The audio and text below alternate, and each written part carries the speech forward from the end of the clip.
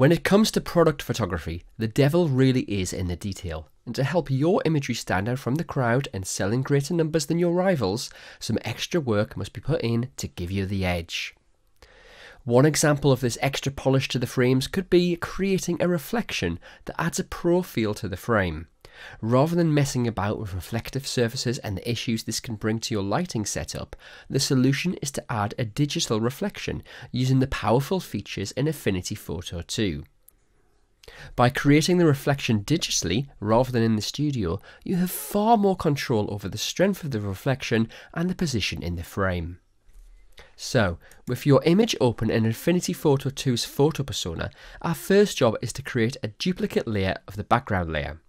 To do this, all we have to do is head up to the top of the interface, find the layer menu, scroll down and select duplicate.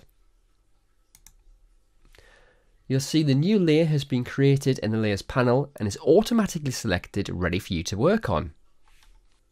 This duplicate layer that we've just created will become our reflection, but first we need to orientate it properly. Firstly, select the Move tool from the toolbar. The keyboard shortcut for this is V. You'll see the Move tool confirm with the blue frame around your canvas here. Next, head to the top of the interface, click on Arrange, and scroll down and find Flip Vertical. There we go, our layer has flipped vertically, but that's only part of the journey. So what do we do next? Well, we need to position our reflection so that it matches up with the subject. And this can be quite hard at the moment, so what we need to do is head over to the opacity option and scroll down and make our new layer semi-transparent. You can then hold shift and drag down and you can get a better view of where to place the reflection. So if it's here or here, it will look a bit odd, but just marrying up with the subject works perfectly. Once you're done with that, remember to turn the opacity back up to 100%. Now, this is where the technique gets really clever. Head back to the Layers panel and select the Mask option, which is identified by a circle within a square icon. You'll see the thumbnail appear in your duplicate layer.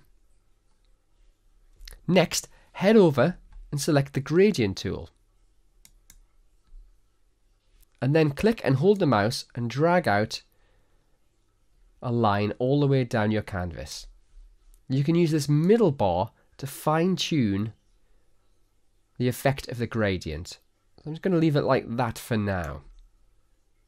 Now obviously we've got this line across our frame and that just won't do. So what I'm going to do next is select the paintbrush tool and the keyboard shortcut for this is B and make sure that the brush is set to black and has a hardness of 0% because we're just going to brush out the pixels that we don't want to appear in the final image. And remember, you can change the size of the brush using the square bracket keys, just to give you that extra bit of control. And there we go, we've created already a beautiful reflection. So let's turn this off and on. And you can see how that gradient tool has added the soft opacity to the reflection. Okay, once you've done that, you can add any adjustments you'd like to make. So head back to the Layers panel, and this time select the Adjustments icon, and this is identified by a half black, half white circle. Click on it, and I'm going to select from the drop-down menu Brightness and Contrast. And when the dialog box appears, I'm just going to ramp up the brightness and ramp up the contrast just to add that extra zing.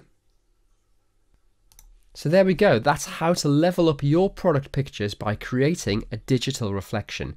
All you need to do now is head up to File, scroll down to Export, and you can save the file in your chosen format, whether that be a JPEG, TIFF or PSD. Thanks for watching, have fun creating your digital reflections, and I'll see you next time.